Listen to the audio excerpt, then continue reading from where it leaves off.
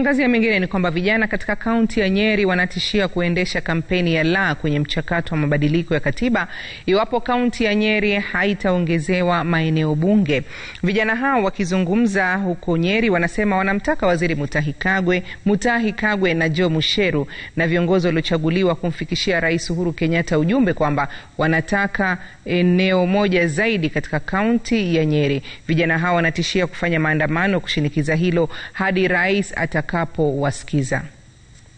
Nyeri County benefit with this BBI. It's not about supporting the BBI or not supporting it. We are fighting for our space and our space is an extra constituency.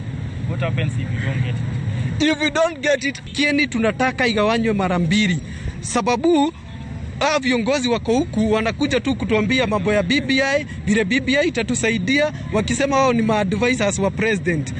Tunataka wampelekee wa, wa hii ujumbe kwamba sisi kama wakaaji wa Nyeri, kama hatutapewa constituency ingine, sisi tutakataa tutakata mambo ya BBI.